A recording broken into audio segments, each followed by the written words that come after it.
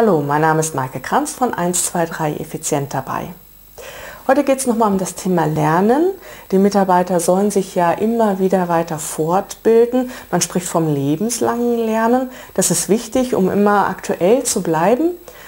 Ähm, aber die Frage ist, wie können Sie es schaffen, in Ihrem Unternehmen ja, den Rahmen letztendlich dafür zu bieten. Also welche sechs Strategien gibt es für Ihr Unternehmen, wirklich dieses Lernen zu fördern?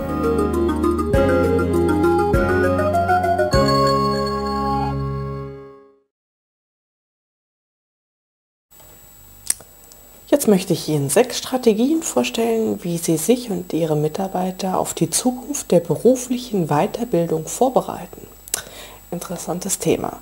Strategie 1. Ähm, wichtig ist, dass Sie ähm, die Beschäftigungsfähigkeit Ihrer Mitarbeiter ähm, einfach ja, im Auge behalten bei ihrer Personalpolitik und auch bei ihrer ähm, Weiterbildungspolitik, also eben auch lebensphasenorientiert ähm, vorgehen, um auch ja, lebenslanges Lernen zu ermöglichen und auch die älteren Mitarbeiter da noch dran zu beteiligen. Weiterbildung ist nicht nur für die jungen Leute wichtig, es lohnt sich auch in ähm, langjährige Mitarbeiter zu investieren. Strategie 2, nehmen Sie den Druck heraus. Ähm, Studien haben ergeben, dass jeder Dritte sich gelegentlich und äh, jeder Zehnte sogar häufig mit der wachsenden Bedeutung von beruflichen Weiterbildungen überfordert fühlt. Ähm, wirken Sie dem entgegen? Und da sind wir wieder beim Thema Betriebsklima. Ja?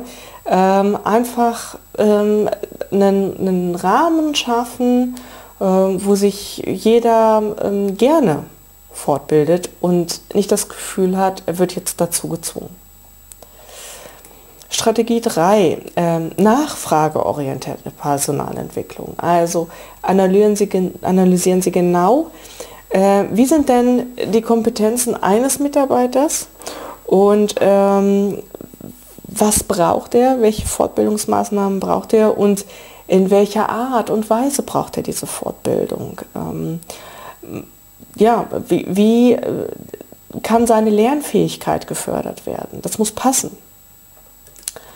Strategie 4, ähm, das Weiterbildungsangebot bitte stetig erweitern und zwar nicht nur quantitativ, sondern auch eben in der Qualität und im Inhalt ist das ähm, ganz wichtig und ja, analysieren Sie das einmal bei sich im Unternehmen.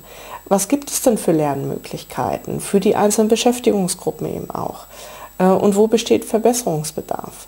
Man lernt ja nicht nur in externen Seminaren, man lernt auch am Arbeitsplatz, ähm, man lernt durch ähm, Jobsharing und äh, Job Enrichment und solche Sachen. Ähm, denken Sie auch an, an, solchen, an solche Themen, wo es nicht nur um Wissen geht, sondern auch um Fertigkeiten und Erfahrungen sammeln. Strategie 5, ähm, stellen Sie ruhig auch schon mal die Weichen für die Digitalisierung der Arbeit.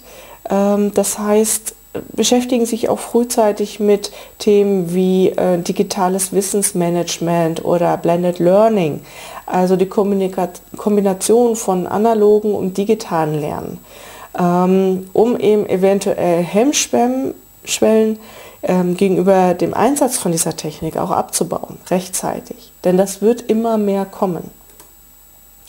Ja, und Strategie 6.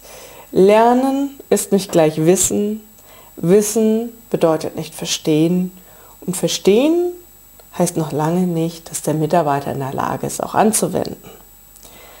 Deswegen ähm, Digitalisierung und äh, E-Learning ist wichtig, klar, aber es gibt eben auch noch die analoge Welt und Sie sollten Ihren Mitarbeitern auch immer wieder die Möglichkeit geben, ähm, persönlich zu kommunizieren, das Gelernte zu reflektieren und es eben anzuwenden. Vergessen Sie das bitte nicht, denn ähm, nur auf dem elektronischen Weg werden Sie nicht das erreichen können, was möglich wäre. Also unterschätzen Sie nicht das informelle Lernen ähm, mit, zum Beispiel in Gesprächen mit Kollegen. Hat Ihnen das Video gefallen? Dann abonnieren Sie meinen Kanal. So erhalten Sie jede Woche sofort umsetzbare Tipps für mehr Effizienz an Ihrem Arbeitsplatz. Melden Sie sich bitte auch zum kostenlosen Newsletter an. Als kleines Dankeschön schenke ich Ihnen mein 24-seitiges E-Book mit meinen 10 besten Tipps für mehr Effizienz und Produktivität im Büro. Dazu einfach hier rechts klicken und Sie erhalten das E-Book sofort in Ihren Posteingang.